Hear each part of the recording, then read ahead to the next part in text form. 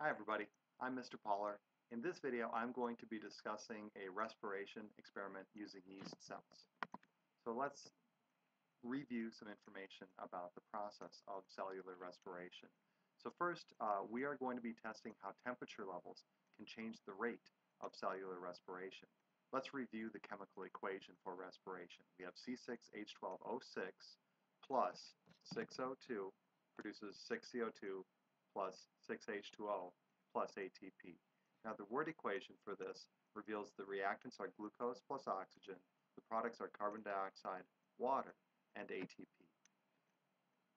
Now, how are we going to test how different temperature levels can change the rate of respiration? We are going to change the temperature of water inside of this test tube. We're going to run three different temperature trials, cold water, medium temperature water, and warm water. Our dependent variable will be the number of bubbles produced by the yeast. The bubbles will be given off by the tip of the pipette right here. More bubbles means that the yeast are producing more CO2. They're carrying out respiration at a much faster rate. Here's video of this experiment.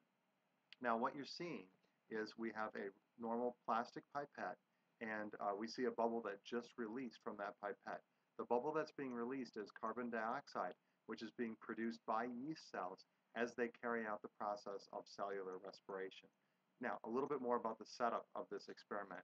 We need some metal nuts in order to weight down the pipette so that it's uh, staying submerged under the water. And then we have a solution of sucrose, or apple juice can be used too, yeast, and water. And when we mix the yeast, the sugar, and the water, the yeast are going to start to use that sugar as food. They carry out the process of cellular respiration they're producing carbon dioxide. So as that carbon dioxide is made, there's more and more of it inside of that plastic pipette.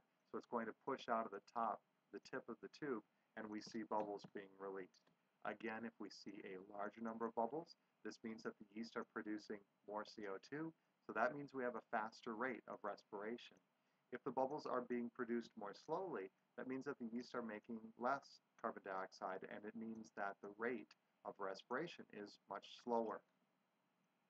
So again, uh, I will be posting sample and class data sets uh, using my Twitter account, which you can find right here. Uh, again, everybody, thanks for watching. You can always find more of my videos by uh, looking up my YouTube channel. Thanks for watching. Bye.